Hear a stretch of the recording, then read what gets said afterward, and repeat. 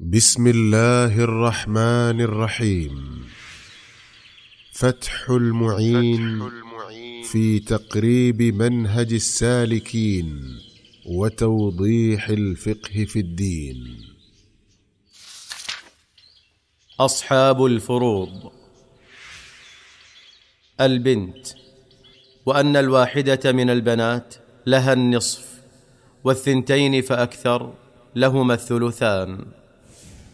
بنت الابن وإذا كانت بنت وبنت ابن فللبنت النصف ولبنت الابن السدس تكملة الثلثين.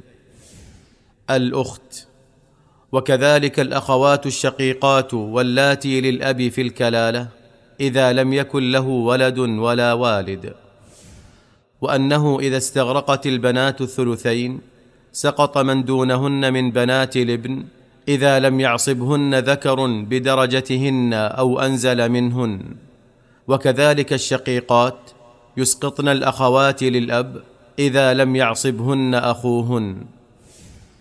الإخوة لأم وأن الإخوة لأم والأخوات للواحد منهم السدس وللاثنين فأكثر الثلث يسوى بين ذكورهم وإناثهم.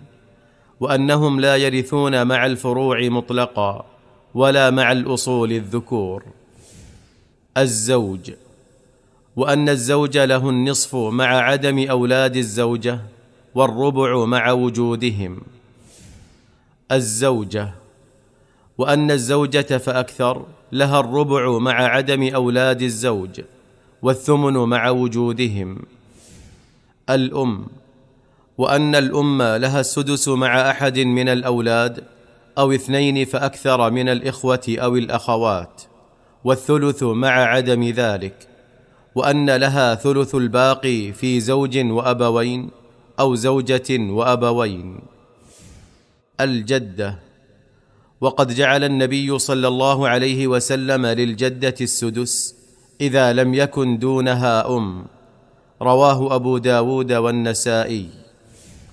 الأب وأن للأب السدس لا يزيد عليه مع الأولاد الذكور وله السدس مع الإناث فإن بقي بعد فرضهن شيء أخذه تعصيبا. الجد وكذلك الجد وأنهما يرثان تعصيبا مع عدم الأولاد مطلقا.